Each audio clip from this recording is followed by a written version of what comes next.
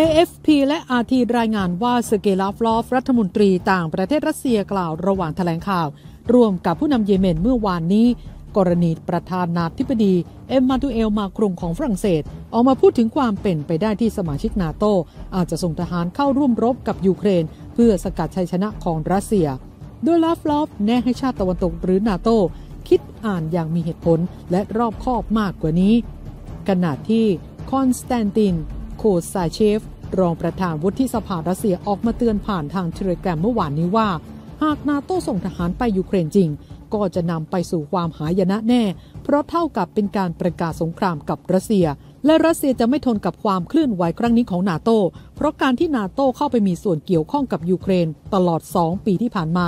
ก็ถือเป็นการสนับสนุนยูเครนอยู่แล้ว แต่การส่งทหารเข้าร่วมรบ ถือเป็นการล้ำเส้นแดงของรัสเซีย การออกมาเตือนของโคซาเชฟ สอดคล้องกับคำพูดของดมิทรีเพสคอฟโฆษกทำเนียบเครมลิน ที่เตือนว่าการที่ทหารนาโต้ร่วมรบกับยูเครน จะนำไปสู่การเผชิญหน้าโดยตรง ระหว่างนาโต้กับรัสเซียคำแถลงของมาครงเมื่อวันจันทร์ที่ผ่านมา ได้สร้างความตกอกตกใจ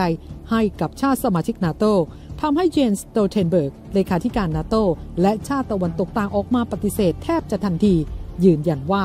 ไม่มีแผนที่จะส่งทหารไปยูเครน โดยสหรัฐ เป็นชาติล่าสุดที่ออกมาปฏิเสธ โดยจอห์นเคอร์บี้โฆษกสำนักงานความมั่นคงสหรัฐยืนยันว่า สหรัฐมีแค่ทหารอเมริกันที่ประจำการอยู่ที่สถานทูตในกรุงเคียฟเท่านั้น และว่าสิ่งที่สหรัฐมุ่งให้ความสำคัญตอนนี้ก็คือ การผลักดันให้สภาคองเกรส ผ่านงบความช่วยเหลือด้านอาวุธล่าสุดให้กับยูเครน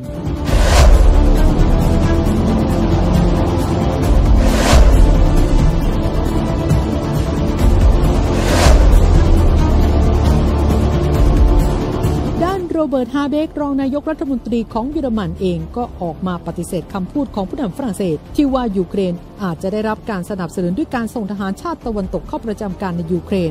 ซึ่งตอกย้ำถ้อยแถลงของนายกรัฐมนตรีโอลาฟชอลซ์ผู้นำเยอรมนีที่เขากล่าวว่า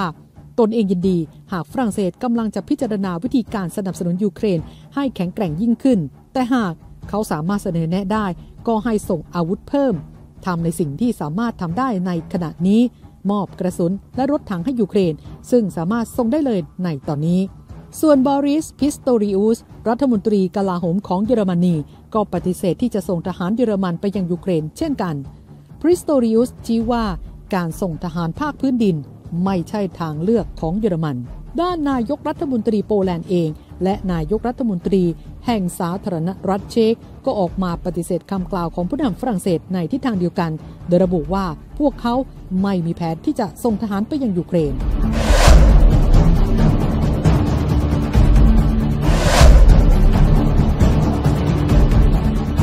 AFP รายงานว่าเหมาหนิงโฆษกกระทรวงการต่างประเทศของจีนออกมาแถลงข่าวในวันนี้ โดยเปิดเผยว่ารัฐบาลจีนจะส่งนายหลี่หุยผู้แทนพิเศษจีนประจำภูมิภาคยุโรปและเอเชียเยือนรัสเซียยูเครน และสำนักงานใหญ่สหภาพยุโรปภายในสัปดาห์นี้ เพื่อพูดคุยหารือในประเด็นการสู้รบในยูเครน ที่ยืดเยื้อเข้าสู่ปีที่ 3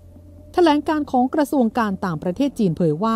การเดินทางครั้งนี้ถือเป็นความพยายามทางการทูตครั้งที่สองของจีน ในการแสวงหาข้อยุติวิกฤตการณ์ยูเครน หลังจากหลีหุยเดินทางเยือนมอสโก เคียฟ และสำนักงาน EU มาเมื่อปีที่แล้วในความพยายามเดียวกัน และครั้งนี้หลีหุยจะเดินทางต่อไปยังฝรั่งเศส เยอรมนีและโปแลนด์ด้วย เมาหนิงกล่าวว่าตลอด 2 ปีที่ผ่านมา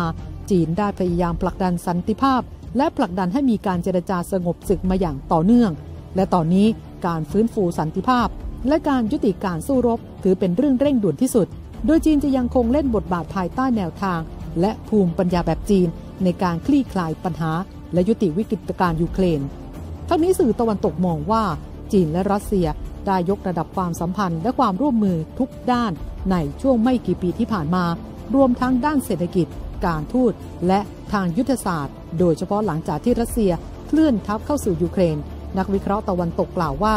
จีนกุมอิทธิพลเหนือรัสเซีย และมีท่าทีจะเพิ่มขึ้นเรื่อยๆ เนื่องจากรัสเซียถูกโดดเดี่ยวจากประชาคมโลกนั่นเอง